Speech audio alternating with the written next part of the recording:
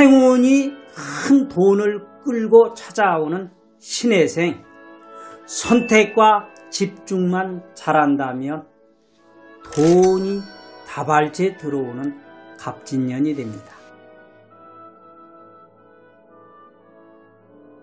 여러분들 안녕하세요. 경기도 성남 보은 철학원장 역술가 보은입니다. 오늘은 2024년 갑진년에 1971년생 신해생 돼지띠 운세를 조목조목 준비를 했습니다. 갑진년에 1971년 돼지띠는 하고 싶은 것도 많고 의지도 강한 시기로 신해생 운세에서는 드릴 말씀이 아주 많은데요. 이것은 차차 풀기로 하고 한마디로 요약하면 순간의 선택만 잘하면 땅에서는 지운이 발복하고 하늘에서는 천복이 내려오게 됩니다. 청룡해에는 마지막 날삼재에 원진이 낀 해인데요. 무조건 원진쌀이 낀 연도라고 해서 나쁘다고 할 수는 없지만 재물운을 상승할 기회를 자주 만들어냅니다. 그러니 금전운은 크게 걱정하실 필요가 없습니다. 지난 영상에서도 말했듯이 갑진년의 1971년 돼지띠도 선택과 집중이 대단히 중요하다 하겠습니다. 버릴 것은 버리고 끌어낼 것은 끌어내고 내 것을 찾아야 하겠습니다. 도전한 일은 끝까지 뒷심을 발휘하여 이루어야 하겠습니다. 이 선택과 집중은 사업은 재물은 애정은 모두 해당이 되는데요. 하나씩 꼼꼼히 살펴보도록 하겠습니다. 갑진년에 1971년 신해생 돼지띠의 직장운과 사업운을 먼저 보면 도약하고 전환하는 기운이 아주 강한데요. 지난 개변년에 어려움을 겪었던 것에 비하면 24년은 우울하고 불안했던 마음도 안정이 되고 금전, 가정, 애정운 등 여러 측면에서 회복의 기회가 다가올 겁니다. 그럼 1971년생 돼지띠의 월별 운세를 알아볼까요?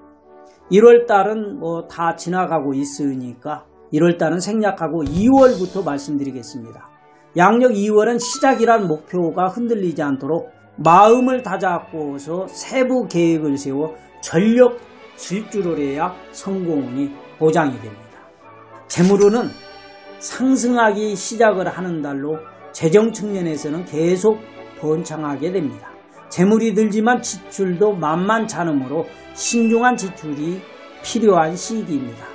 또 건강 쪽에서는 날카로운 세부치에 몸을 상하지 않도록 조심을 해야 하는데요. 교통사고도 여기에 해당이 되기 때문에 주의하셔야 하겠습니다.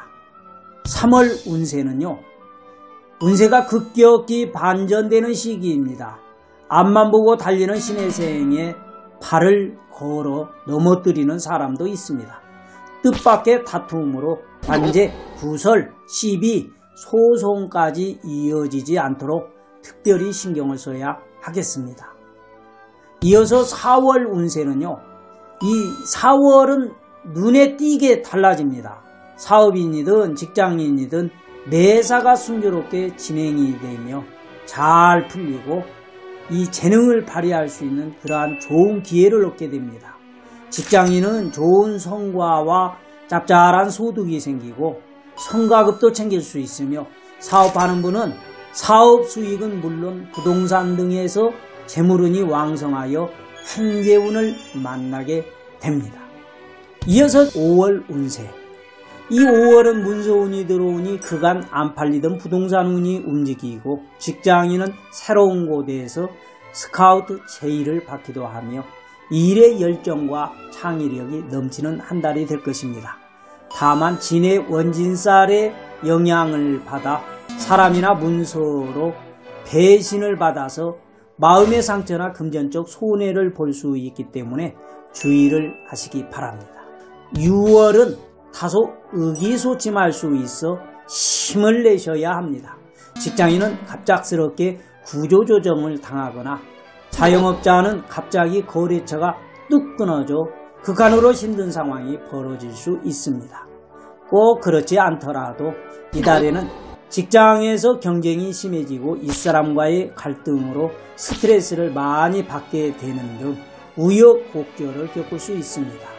이때 가장 중요한 것은 대놓고 운과 맞서지 말고 시간을 두고 참고 기다리면 좋은 운을 맞게 된다라고 말씀을 드릴 수 있겠습니다. 늦게라도 현재 운의 영향으로 예상치 못하는 돈이 금고에 들어올 수 있거든요. 그럼 금방 회복이 됩니다. 이달에는 주변에서 소외감을 느끼지 않도록 내 감정을 잘 유지하는 것이 필요합니다. 7월은요, 경쟁력이 살아나고 하는 일에서 명예롭게 됩니다. 사업자는 내 사업을 알리는 기회가 늘고 상당한 계약이 이루어져 바쁘게 움직이는 시기입니다. 직장인은 승진까지는 아닐지라도 하는 일과 성과가 좋고 운이 상승하는 추세로 확실한 인정을 받는 시기입니다. 건강운에서는 교통사고 등 안전의식을 잘 유지해야 하겠습니다. 8월 운세는요. 8월에 돼지띠는 될듯 될 듯 하던 일들이 머뭇머뭇하고 안 풀립니다. 이럴 때는 서두르지 말고 일단 정지하십시오. 주변에서 동업이나 제한 투자를 해올 수가 있습니다. 어줍잖게 말려들면 신뢰도 잃고 돈도 잃게 됩니다. 계약운 등 문서운이 들어와 있으나 썩 좋지 않으므로 확신이 들지 않으면 과감하게 거절하셔야 하겠습니다. 우리 신혜생 돼지띠는 아주 야무져서 똑순이들이 많습니다. 또 얼마나 미인인지 조금만 신경 쓰면 미스 코리아처럼 예쁩니다. 또 어디 이뿐입니까? 끈질긴 승부사가 아닙니까? 충분히 극복할 수 있는 이기입니다. 사업을 하시는 분들은 어떻게 해야 할까 고민하고 계실 텐데요. 두 마리 토끼를 모두 잡을 수는 없습니다. 하나는 제하고 하나는 포기하는 것이 좋은 선택입니다. 이 진념의 승부사인 신혜생 돼지띠는 충분히 극복할 수 있는 위기로 이걸 넘기면 가을엔 황금 들판에 펼쳐지게 됩니다. 9월의 신혜생 돼지띠는요. 경쟁력이 살아나고 내 손을 거치는 일마다 아주 좋은 결과를 얻게 됩니다. 한마디로 9월엔 신혜생에게 행운의 길을 열어주는 달로 긍정적인 변화를 받게 됩니다. 10월 달은요, 재물운과 문서운이 함께 들어와 있는 달입니다. 부동산 매매 계획이 있으면 이달에 하시면 수월하게 될 것이고요.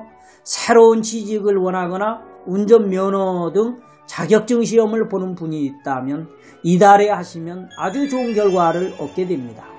만 가지 일이 순조롭게 이루어진다는 달로 상당히 운세가 왕성합니다.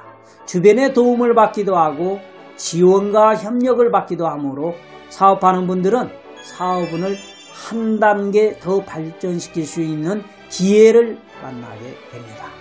재물운도 상당히 좋아져 재원이 증가하게 되지만 탐욕으로 인해서 돈줄이 막히지 않도록 이것은 주의해야 하겠습니다. 또 진술 중의 영향으로 비록 흉성이 들어와 있지만은 견딜만 합니다. 일부 신혜생에게는 이별수나 사고수, 손해수, 또 송사가 발생할 수 있으므로 이달에는 이 점을 주의하셔야 하겠습니다. 11월은 운이 상승세를 타고 있지만 강력한 경쟁자를 만나게 됩니다. 내가 무엇을 잘하는지 뭐가 약점인지 자신의 장단점을 잘 살펴보고 점검하여 장점은 과감하게 선택하고 단점은 보완을 해야 하겠습니다. 대인관계의 운을 잠시 볼까요? 이 11월에 자칫 애토리가 될 수 있는데요. 출장을 가서나 먼 곳으로 이동하게 되어서 원래 본인이 속한 무리에서 떨어지게 됩니다. 꼭 몸이 멀어지지 않더라도 대인관계에서 변화가 있을 텐데요. 그가 나에게 도움이 된 사람과 해를 입힌 사람들. 이 또한 선택과 과감한 결정으로 질긴 인연을 청산해야 할 때입니다. 건강 측면에서는 지나친 가로를 주의하고 우발적인 부상 등을 조심해야 하겠습니다. 71년생의 마지막 12월 운세는요. 이달은 길성의 도움이 강하게 몰려 상승세를 타는 달입니다. 이럴 때는 어떤 일을 해도 매우 안정적으로 진행하게 될 것입니다.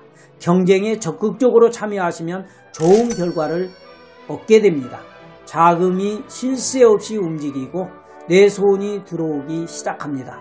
이럴 때는 돈 욕심이 생기기 마련인데요. 돈 욕심이 과해서 투자가 아닌 투기에 관심이 생기기도 합니다. 자칫하면 지출만 커지는 손해를 왕창 볼 수 있으므로 재정 방면에서는 수입을 잘 관리하고 지출을 통제하여 손실을 막아야 하겠습니다. 오늘은 여기까지입니다. 여러분들 어떻게 도움이 좀 되셨나요? 도움이 되신 분들은 그냥 가지 마시고요. 좋아요 한 번씩 눌러주시고 또 아래 댓글창은 여러분들이 참여하도록 만들어 두었습니다. 여러분들의 소중한 의견을 댓글에 남겨주시면 제가 다음 영상 제작하는데 꼭 참고를 하도록 하겠습니다. 또 시간이 허락되는 대로 그 댓글은 제가 일일이 꼼꼼하게 살펴서 답글을 해드리고 있으니까요. 조금 시간을 두고 기다려 보시면 답이 올라와 있을 겁니다. 오늘 또 귀한 시간 함께 해 주신 사랑하는 구독자 여러분들, 이 갑진년에는 아프지 말고요. 화 너무 많이 내지 마시고요. 복 많이 많이 받고 건강하십시오.